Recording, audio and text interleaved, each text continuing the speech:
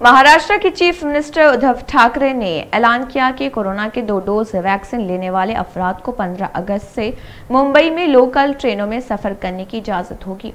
उद्धव ठाकरे ने कहा है कि जिन लोगों ने 15 दिन पहले कोरोना वायरस के वैक्सीन की दोनों खुराकें ली हैं, उन्हें इन ट्रेनों में सफ़र करने की इजाज़त होगी।